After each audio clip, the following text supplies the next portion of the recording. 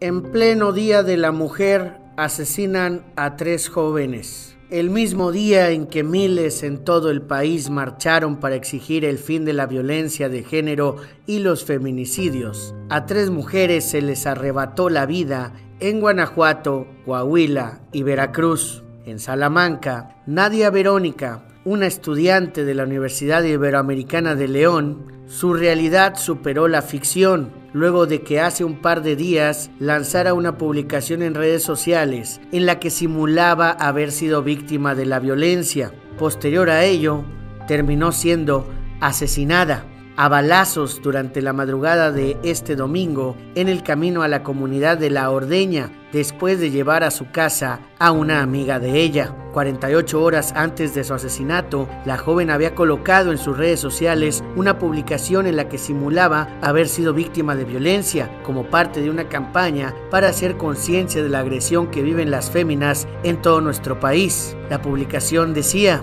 mami, papi y hermano, si algún día soy yo, quédense con la mejor imagen de mí.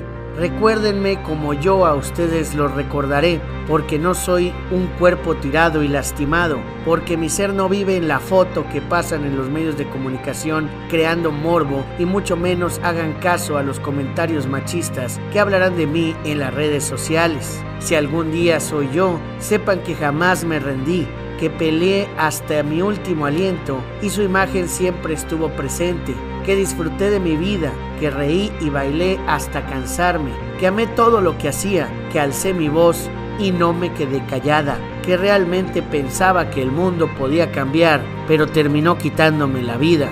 Si algún día soy yo, por favor cuiden con el alma a mi sobrina, porque yo quise ser un ejemplo para ella y sobre todo enséñenle a no vivir con miedo y a luchar por su vida, porque si algún día soy yo, quiero ser la última. Un día sin nosotras, hashtag 9 de marzo Ibero León. Esto escribió Nadia en su perfil de Facebook a las 2.27 horas.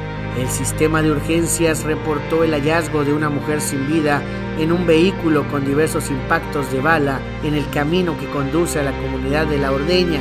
Posteriormente, la familia de Nadia confirmó el deceso de ella en las redes sociales. Además de este caso, también se registraron otros dos. Alrededor de las 7.30 de la mañana del domingo se reportó otro hallazgo de un cuerpo sin vida de una mujer dentro de un lote baldío en Torreón, Coahuila. Anoche la mujer no había sido identificada, pero se informó que se trata de una mujer entre 20 y 25 años, de complexión delgada. Vestía short gris, playera negra y tenis. También las autoridades de la fiscalía refirieron que se le apreciaron múltiples heridas, mientras que en Veracruz, una adolescente de tan solo 16 años que estaba embarazada fue asesinada a tiros en la comunidad de Boca del Río. La víctima ha sido identificada como María Magdalena N. Ella estaba afuera de su domicilio con familiares cuando dos hombres llegaron, le dispararon cobardemente y se dieron a la fuga.